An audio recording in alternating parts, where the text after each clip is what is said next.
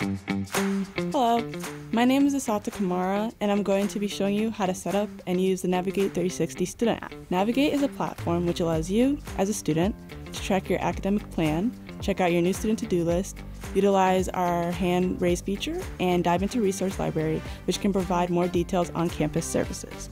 This video will walk you through on how to download and utilize the Navigate app. First, you'll want to search Navigate 360 on the App Store or Google Play Store and download the app. Once that's finished, open the app, type GRCC into the search bar, and select Grand Rapids Community College. It'll then ask you to log in using your MyGRCC account. If you are having trouble logging into your account, you can click on Need Help Logging In, and it'll show you our IT department's contact info. Now that you're in Navigate, let's go over some of the helpful tools you'll find here. First, I'll show you how to schedule an appointment using Navigate.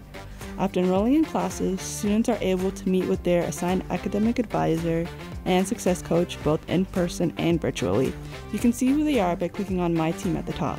After clicking on Schedule Appointment at the bottom, you can select who you would like to meet with, what service you need help with, and your desired date. It'll then show all the, the times that your advisor is available to meet with you.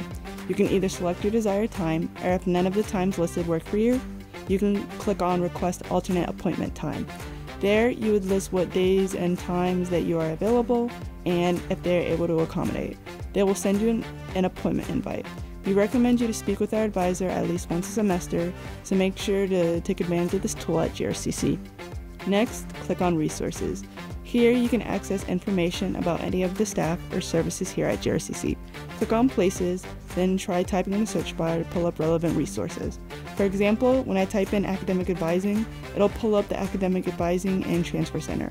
When I click on it, it lists the location, hour, website, and contact info of the resource.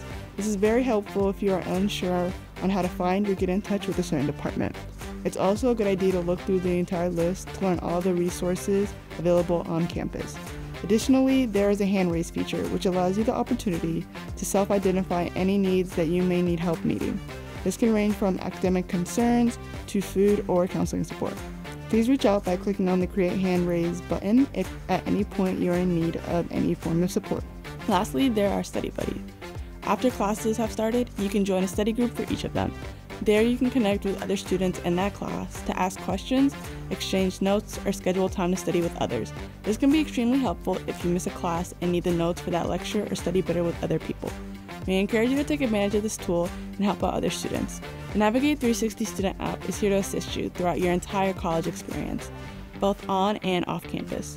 We hope you find this brief overview helpful, and we recommend that you download the Navigate 360 app today, available on both iOS and Android.